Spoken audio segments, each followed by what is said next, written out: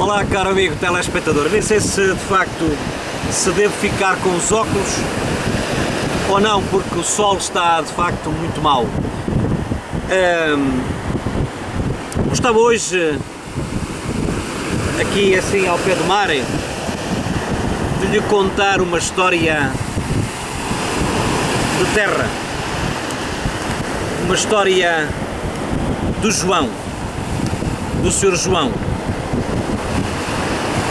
Tem 75 anos, 75 ou 71, já não sei se, se quem tem 75 se é ele se é a mulher. Mas vá lá, tem 75 anos. Chama-se João. João de Deus, concretamente é este o seu nome. Um nome muito religioso. Está casado com uma senhora, também ela com um nome muito religioso, com Maria do Céu, que tem 71 ou 72 anos. Eles casaram há 50 anos. Casaram há 50 anos atrás e casaram por representação. Ou seja, como João estava em Angola na guerra do, das antigas do antigo ultramar, a Maria do Céu teve que se casar com o marido, mas quem representou o marido foi o irmão. Às 8 horas da manhã a um sábado, disse-me ela um dia destes, quando veio ter comigo para prepararmos-nos, para prepararmos precisamente as suas bodas de ouro que eles vão celebrar precisamente no dia 2 ou 3 de outubro deste ano de 2015. E então, como o marido estava em Angola, e como naqueles tempos, como a pessoa me dizia, eram outros tempos, Sr. Padre, às 8 da manhã fizeram o casamento, o marido representado pelo irmão da noiva, e depois, no fim do casamento, foram a casa fazer a boda. A boda, Sr. Padre. Foi um café e umas sandes de marmelada. Agora, a vida dá muitas voltas. Ele é muito doente. Ela também.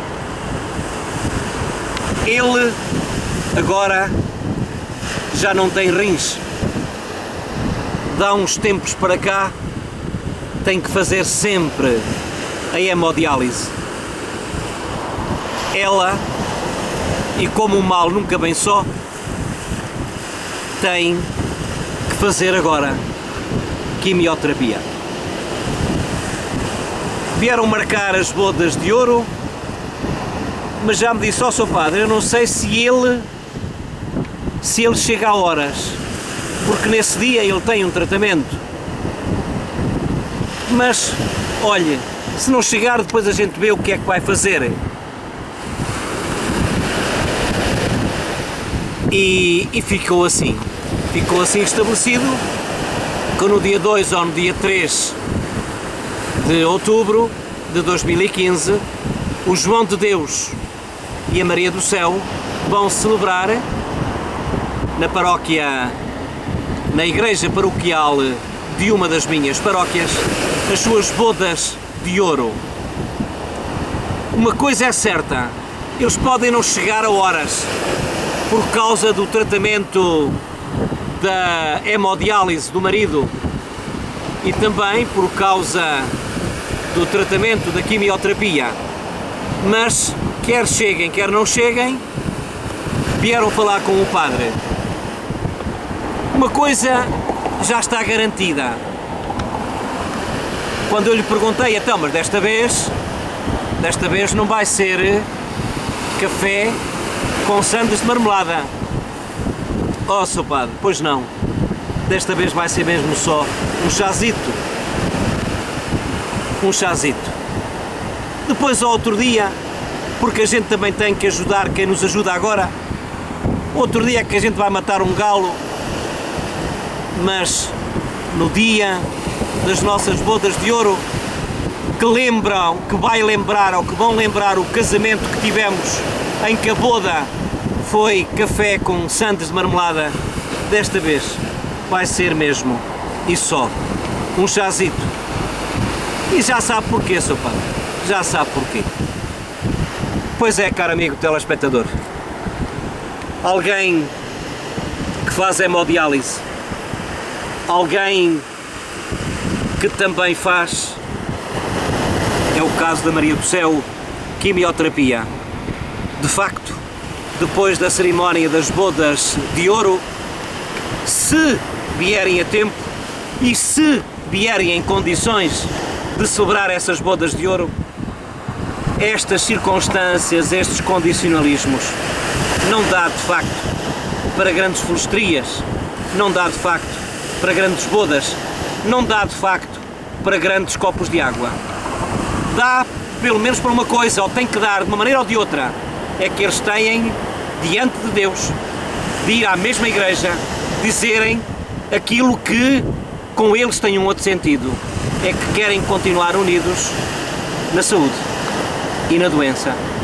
E eles sabem o que isso é, até que a morte os separe. Não sei o que é que é de dizer mais. Se calhar apenas dizer que ele chama-se João, João de Deus, faz hemodiálise, tem 75 anos, ela é Maria do Céu, faz quimioterapia, tem 72. Vão fazer no dia 3 de outubro 50 anos de casados. E depois a boda vai ser um chazito. A doença não dá para mais.